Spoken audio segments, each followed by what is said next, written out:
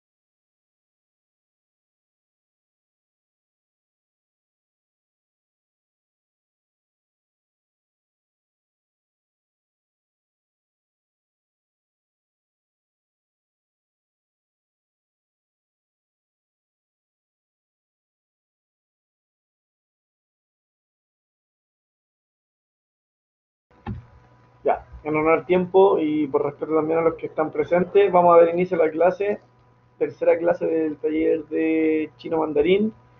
Recordarles que son cuatro clases, el próximo lunes a las 12 también estaremos realizando la última clase de este taller. ¿ya? Así que con ustedes a Franco, quien es el profesor que imparte el taller de chino mandarín. Bienvenidos todos a la tercera clase de este taller de chino mandarín, de este fascinante idioma. Les agradecemos de que puedan estar presentes hoy y que puedan disfrutar de esta presentación. Vamos a comenzar haciendo un repaso de lo que vimos la última clase. La última clase estudiamos algunas cosas importantes, como por ejemplo el verbo más importante en el chino mandarín. El verbo más importante es el verbo ser, el verbo Así que vamos a repasar una frase que vimos en la clase anterior. Ahí se está cargando la imagen. Recordamos que para hacer oraciones con este verbo tenemos que poner un sujeto y un ejemplo, como se puede ver ahí en la imagen, si queremos decir yo soy chileno, en chino lo diríamos wo shi li. Wo shi li. De esta forma diríamos yo soy chileno. Así que vamos a decir el sujeto que sería wo, el verbo ya shi y luego la nacionalidad, en este caso que es li ren. Muy bien. Así que esta es la forma en la que hacemos oraciones con el verbo. Luego estuvimos viendo los números. Hablo los números del 1 hasta el 10. Y después eh, vimos dos caracteres que nos sirven para hacer números a 9999. ¿Cuáles son estos números? Ahí ustedes me dicen si pueden ver las imágenes o no.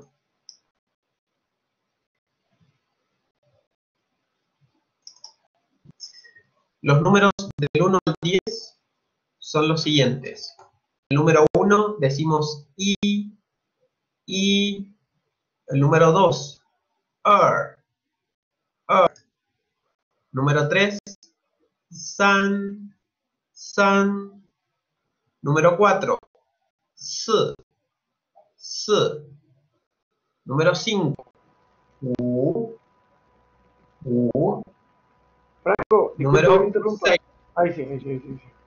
Ahí sí se ven los números, que recién no se veían. Ahora sí. Ah, bien. Se ve la imagen de los números. Sí, ahora sí. Ok. Número 7. Chi, chi. 8. Pa, pa. Número 9. Tio, tio. Número 10. Sh. Después podemos agarrar los siguientes desde el 11 hasta el 99. Recordando que, por ejemplo, si queremos decir 15, vamos a decir el número 10, el número 5. Entonces decimos 15, 15, 10 y 5. Si queremos decir números más altos, como por ejemplo 41, vamos a decir 4, 10, 1. 41, 41 sería 41. Luego, si queremos decir los números del 100 hasta el 999, vamos a utilizar el carácter pi. Este carácter representa una centena. Entonces, si yo digo i pi, es una centena, 100. Si yo digo wu pi, significa 500, 5 centenas. Y así. Por último, el carácter del final es chien, chien, que, que significa mil. Si yo quiero decir mil, digo y chien. Si yo quiero decir seis mil, voy a decir seis y mil. Liu. Así que estos 12 caracteres nos permiten decir los números del 1 hasta el 9999. También vimos la clase anterior, son los colores. Demos un breve repaso a los colores. Por ejemplo, blanco decimos país, país. Gris, huis, huis. Negro,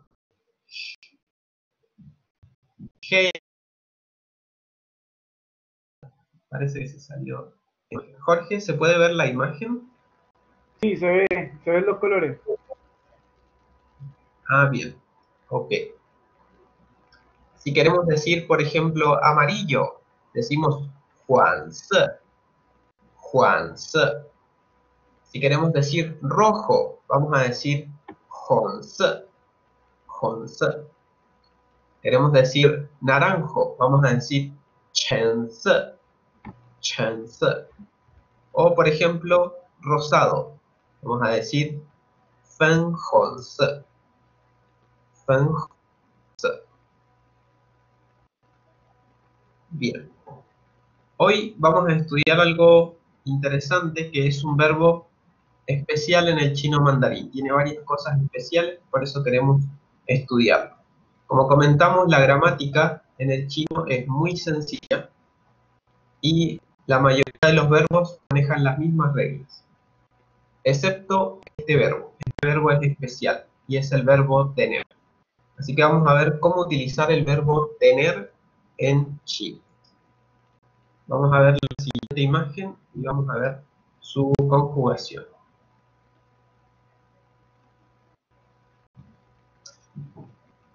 Hasta el momento, ¿alguna pregunta de lo que se vio en la clase anterior? ¿Alguna pregunta? Sobre todo los que no, no estuvieron en la clase anterior, no sé si tienen algo que aclarar. De todas maneras, los videos están en el link que les pueden ver ahora nuevamente. Para los que quieran revisar las dos clases anteriores, lo pueden hacer en ese link.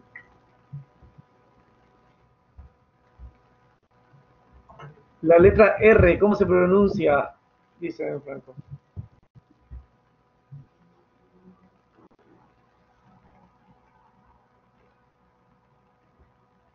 Franco.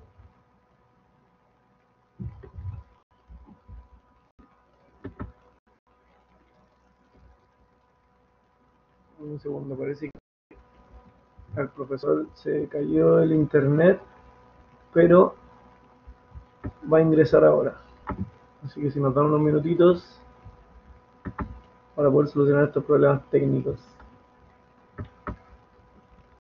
Y así pueda aclarar todas sus dudas y seguir con la clase. Ahí se está conectando.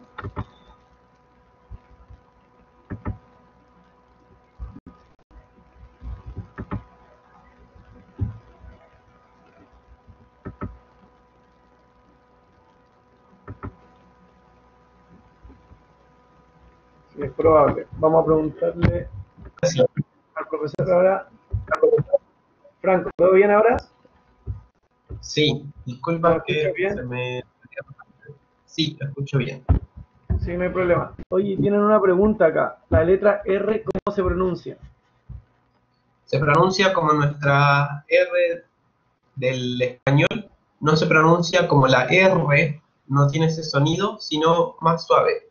Por ejemplo, si queremos decir RE, en chino lo decimos re, re. Es como una R bien suavecita. Perfecto. ¿Se aclara la duda. Mariana?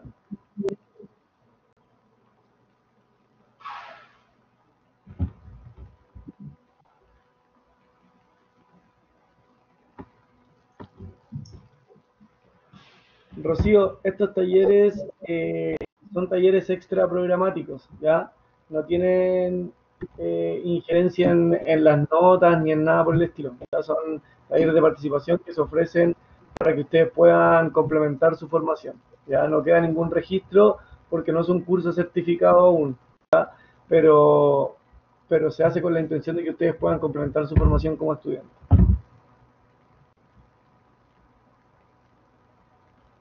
Perfecto, sigamos Franco. Ok. Vamos a ver, lo, como comentábamos, el verbo tener, que es lo que vamos a analizar hoy.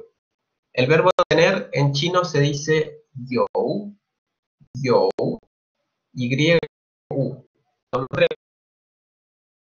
Sube, yo. Así que recordamos que en la china los verbos no tienen conjugación. Entonces, en español que diríamos yo, tú tienes. Vamos a decir los pronombres personales y después directamente decimos yo. Entonces, si queremos decir yo tengo, vamos a decir wo yo. Si es tienes, ni yo. Él tiene, ha yo. Nosotros tenemos, 我们有 ustedes, 你们 y por último, ellos tienen, 他们有 así que decimos nombres personales y luego el yo. ¿Cómo hacemos frases con este verbo? Bueno, lo acá en la siguiente presentación. Al... Utilizando la misma forma que utilizamos con el verbo sh, el verbo ser. Objeto, luego un verbo y finalmente un objeto. Por ejemplo, en la primera imagen, que se ve una persona que tiene un auto, un vehículo, en chino lo diríamos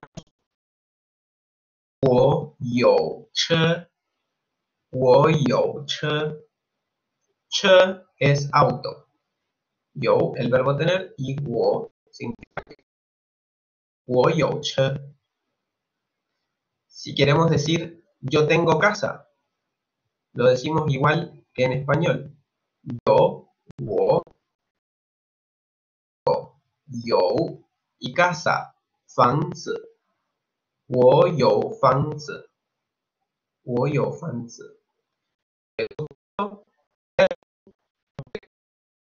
este caso el verbo, va a ser yo. Por último, si queremos negar el verbo y decir que no tenemos, vamos a utilizar la palabra mei. Entonces, si queremos decir yo no tengo casa, vamos a decir wo mei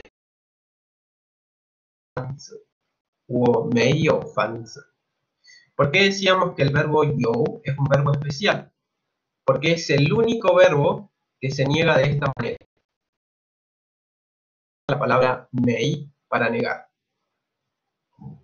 Todos los demás verbos, todos los del chino mandarín, se van a negar con la palabra u. Por ejemplo, el verbo que vimos hace un rato, el verbo ser, que se decía shi.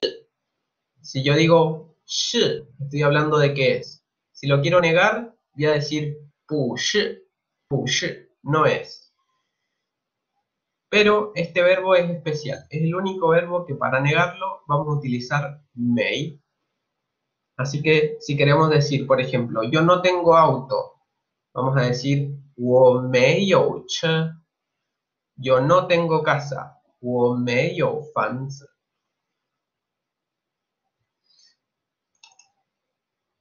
¿Cómo quiero, si yo quiero, por ejemplo, pasar estas frases que hemos visto a preguntas? ¿Cómo lo hacemos? ¿Cómo convertimos estas frases en preguntas? De una manera muy sencilla. Recordamos que en chino hay una partícula interrogativa que sirve para todo tipo de frases y que si la agregamos al final, inmediatamente se convierte en pregunta. Esta partícula es ma, ma, yo tengo auto, decimos Si yo quiero preguntar, ¿tienes auto? Vamos a decir yo ma. Yo ma. En este caso sacamos el wo porque el wo le estamos preguntando a otra persona. Entonces podemos decir yo ma. O por ejemplo, yo fan ma. Yo fan ma. Como se puede ahí en la imagen. Así que simplemente para hacer la pregunta le vamos a agregar ma al final. Tenemos nuestra pregunta. Recordemos que esto lo podemos hacer con cualquier frase en chino. Algo interesante de los verbos chinos es cómo contestamos estas preguntas. Por ejemplo, en español eh, cuando alguien nos pregunta, ¿tienes auto? Decimos sí o no. Pero en el chino se contesta con el verbo. De hecho, en chino no existe un equivalente a la palabra sí. Existe la palabra correcto, pero no existe la palabra sí. No existe la palabra. Sí existe no, que se dice pu, pero la palabra sí no existe. Entonces, si por ejemplo alguien les pregunta, ni yo chema. ¿Tienes auto? Si queremos decir que sí, contestamos tengo. Yo. Si queremos decir que no, vamos a decir mei yo, porque este verbo se niega con mei. Así que siempre que nos hacen una pregunta, tenemos que ver cuál es el verbo y contestar con el verbo. En este caso es yo, así que si queremos contestar afirmativo, decimos yo. Si queremos contestar negativo, decimos me yo. La pronunciación de ni, recordamos que la palabra baja y sube, entonces decimos ni, ni. Esa es la pronunciación de tú, ni. Con este verbo vamos a aprender una pregunta importante para los chinos. Algo que a ellos les mucho hablar con su familia, es algo importante para eso. Entonces vamos a utilizar este verbo yo para preguntar cuántos miembros tiene tu familia o cómo es tu familia. Como pueden ver a imagen, esta pregunta la vamos a decir de la siguiente manera. Ni ya yo ji ren mi jia you di kou. Veamos por separado qué significa cada una de estas palabras. Mi significa tú. Jia, familia. Yo, el verbo tener, estuvimos viendo.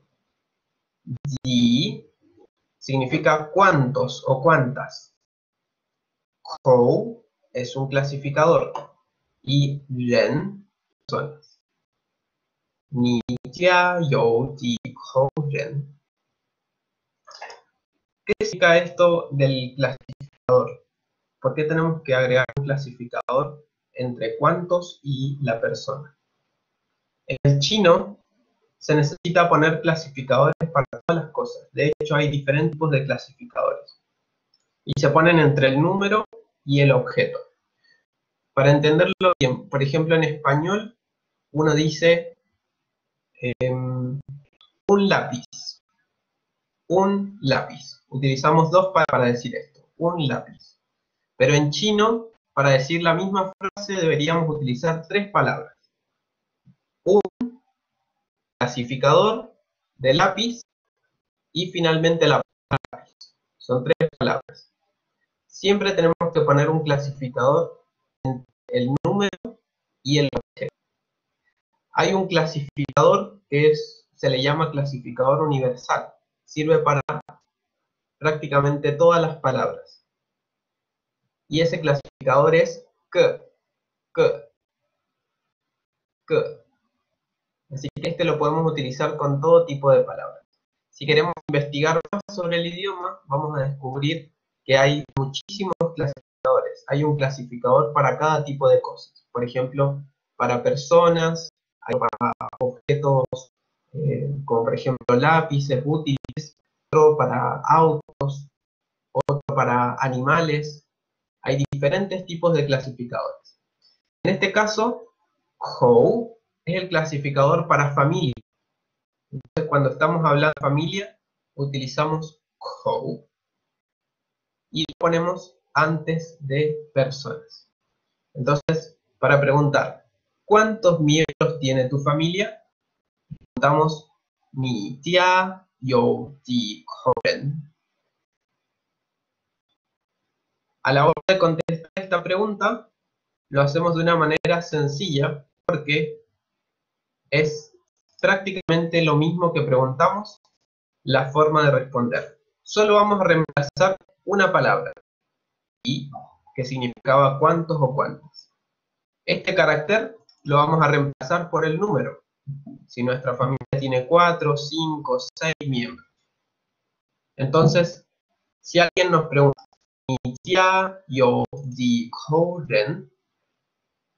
vamos a responder, yo cuatro personas. Solo reemplazamos el di por el número que queremos expresar. Puede ser 4, 5, 6, la cantidad de miembros que tenga nuestra familia. Si solamente una persona somos nosotros, decimos Wotia Yo Y Ren. Tiene una persona. Hay preguntas sobre este verbo yo y la forma de usarlo.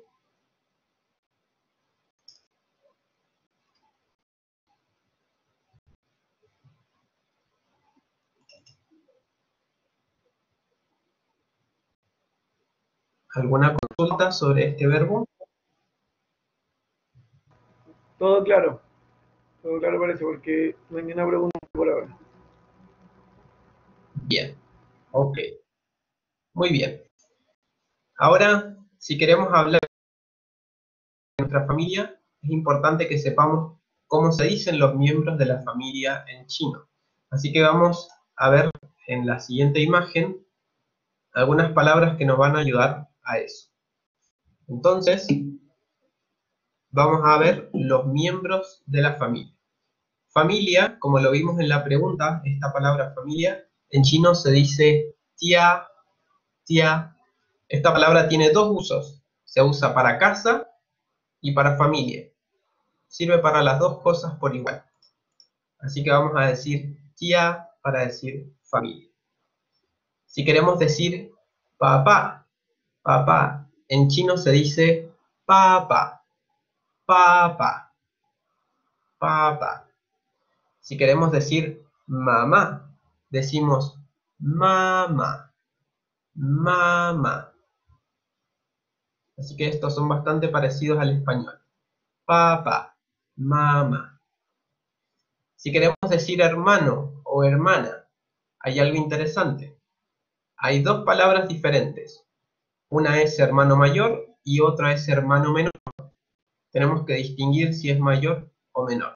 Entonces, si queremos decir hermano mayor, en el caso de que sea un, varón, estamos diciendo que, que, que, Significa hermano mayor. Que, que. Si queremos decir hermano menor, decimos titi. Titi. Entonces, hermano mayor, Hermano menor, titi. En el caso de las hermanas mujeres, también hacemos la misma diferencia.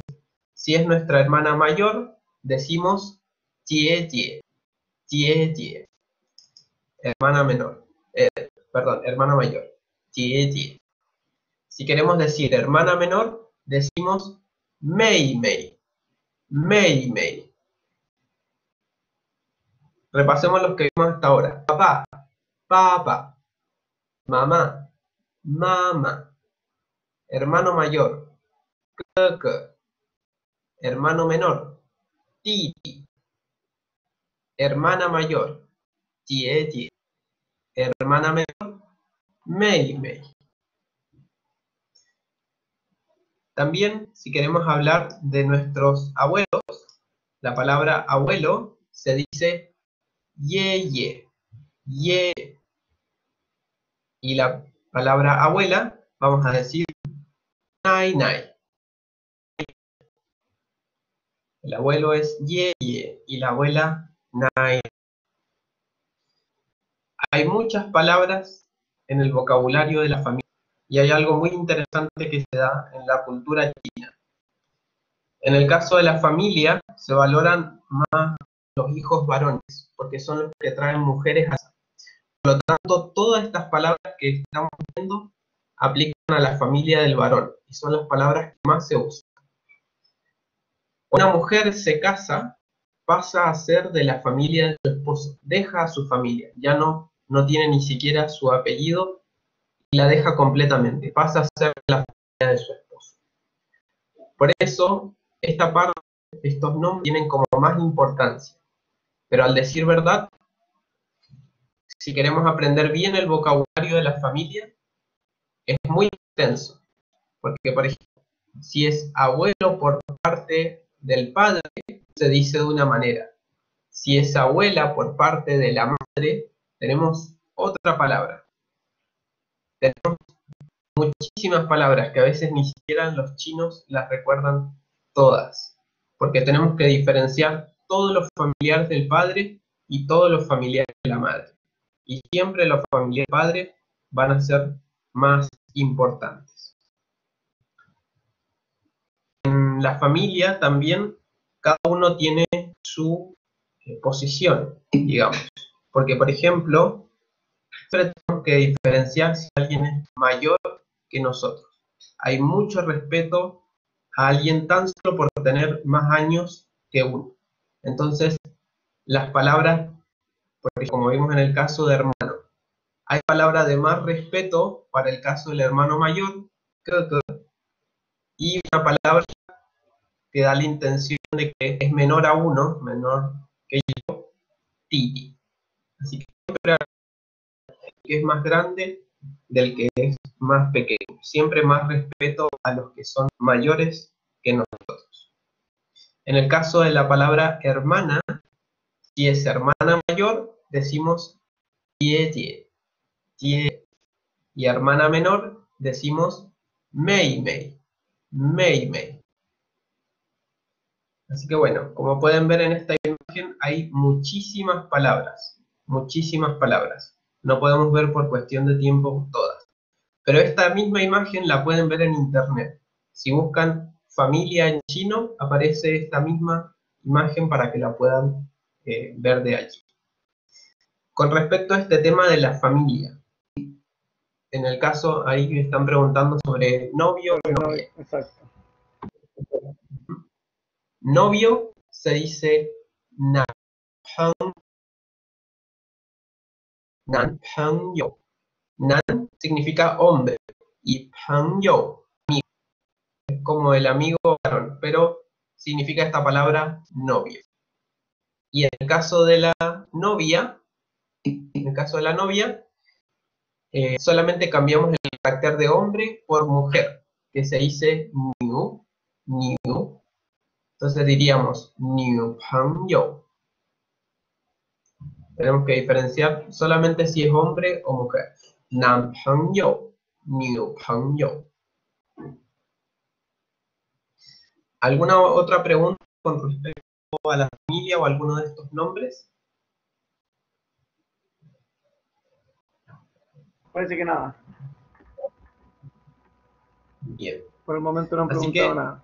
Si sale alguna te aviso. Ok.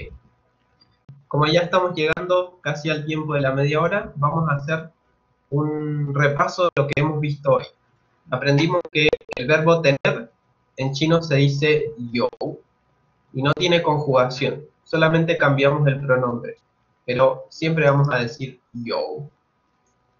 Si queremos armar oraciones con este verbo, decimos sujeto, verbo, objeto.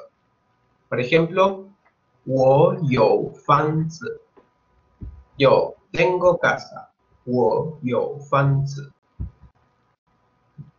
queremos pasar ¿Cómo se dice tío o tía por parte de cada lado de la familia? Sí, lo podemos ver aquí en la imagen. En el caso de la parte del padre, eh, vamos a decir shu shu, el tío varón. Shu shu, shu shu. Y en el caso de la mujer, ai, ai. Así que tío shu shu, tía ai. Por el lado de la mujer se dice, por ejemplo, el tío del lado de la, de la esposa, vamos a decir tío, tío, tío, tío, como dos veces el número 9, tío, tío. Y eh, por el lado de la mujer, por el lado de la mujer, vamos a decir eh, fei tie fei Está viendo otra pregunta.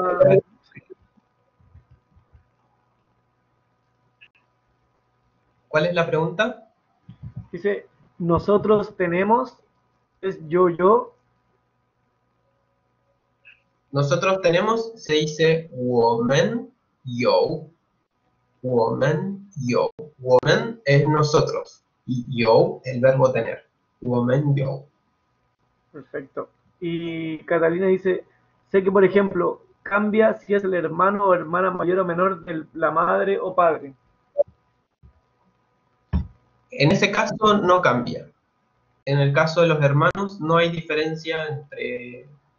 entre eh, no hay que diferenciarlos. Siempre van a ser las mismas cuatro palabras. Hermano mayor, hermano menor, hermana mayor y hermana menor. Titi, tie, tie, mei,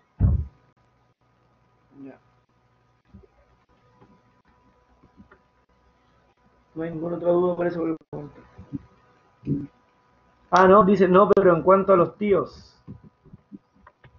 En cuanto a los tíos, sí, como mencionamos recién, tío paterno.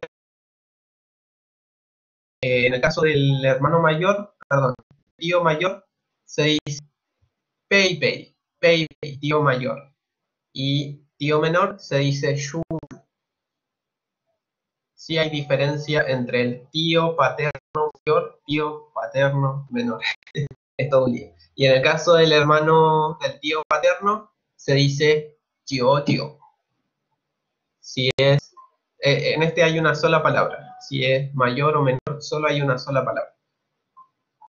Porque es del lado de la mujer. No se le presta tanta atención al lado de la mujer. Siempre al lado del varón.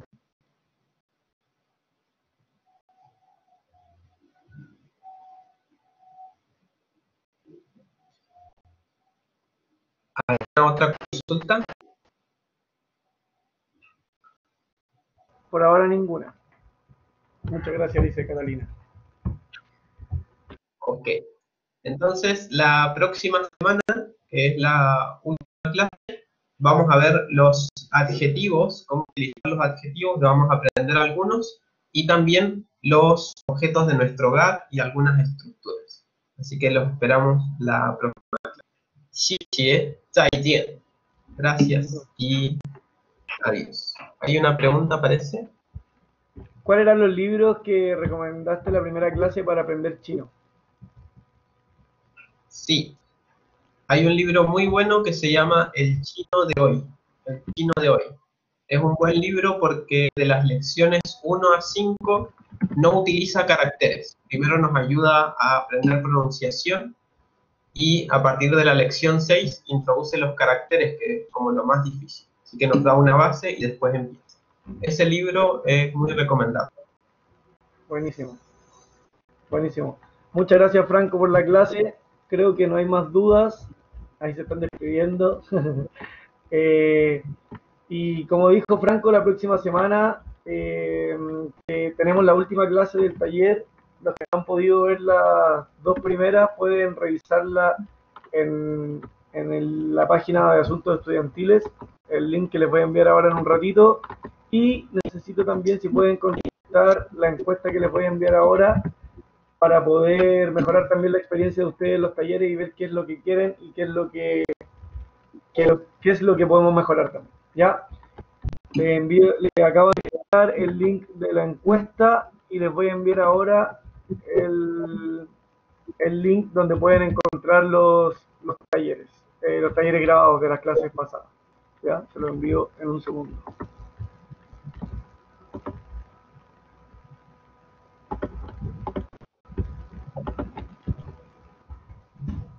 Ahí está. Ahí pueden, ahí pueden encontrar todas las clases eh, anteriores grabadas para que repasen y para los que, los que no estuvieron estar, pues, los que no pudieron estar, eh, ponerse al día. ¿Ya? Eso, que esté muy bien. Nos vemos el próximo lunes a las 12 con la última sesión del taller de chino. Que esté muy bien. Chao, bien.